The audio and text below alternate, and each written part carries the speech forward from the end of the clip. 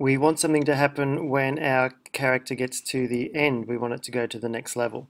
So let's have a look at our different scenes. We've only got two scenes. Scenes. We've got the initial scene and the scary face. So we need to add some more. Let's go to home. Let's go to scenes and let's go plus. We'll drag that into there, swap that around, and we'll call this one scene for level 2, we'll call it level 2. We'll call this one level 1. Good to name things properly. So that's that. Let's go back to this level. Let's look at the player again. Let's look at what we've got. We've got this one. This rule is the uh, this, this, when it hits the wall, it goes to the next scene. Now we don't want that to happen anymore because the next scene is level 2, not Scary Face. So we'll go back to this, go back to the player. Let's change this to, instead of next scene, change it to Scary Face.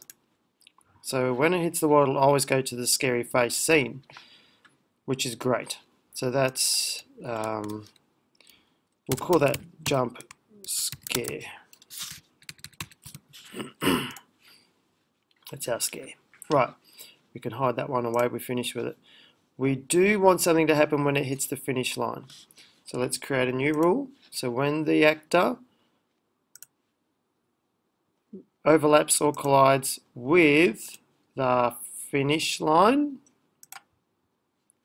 or the finish actor, something's going to happen. It's going to go to the next scenes. Let's go back to behaviors. Let's go to change scene again, drag that in.